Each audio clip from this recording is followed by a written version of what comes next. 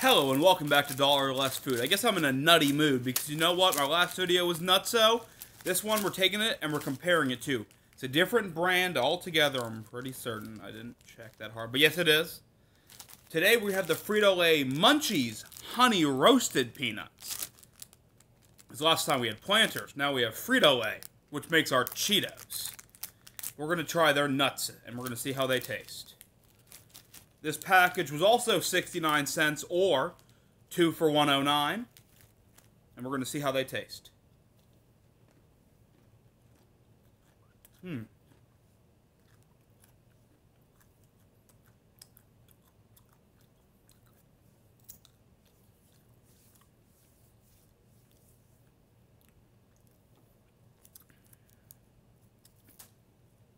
All right, that right there.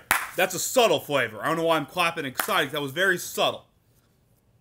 The peanut itself, it was about average. The peanut itself was not quite as good as the hot peanut.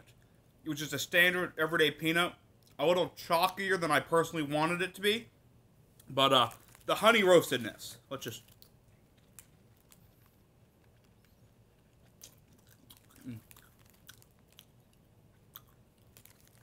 when sucking on it, you get the sweet and then the salty.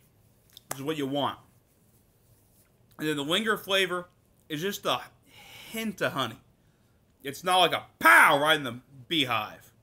More of like a, mmm, that's, mmm, that's honey. Chilling in the background, which is what you really want.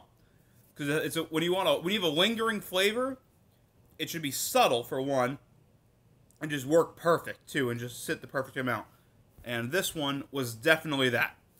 Overall, the peanut not being the greatest quality is a slight thing which I'm like, eh, maybe not the best, but uh let's just also test this. Mm.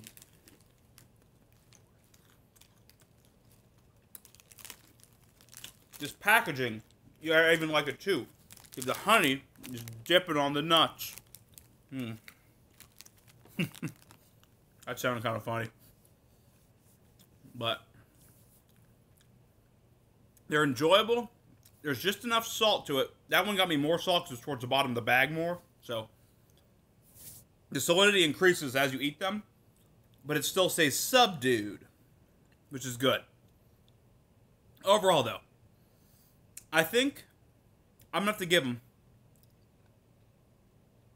a 7 out of 10 because they're not that great peanut wise. The honey flavor is really, really good.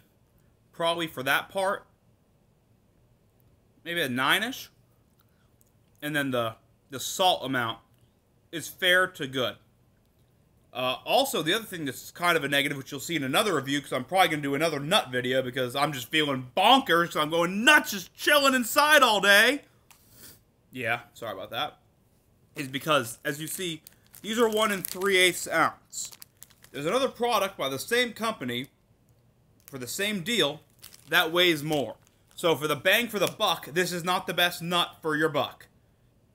So this has been Dollar Less Food, and I'll catch you next time. And yes, Nuck if you buck did get in my head temporarily there, so that's what I was waiting for, that to clear my thoughts.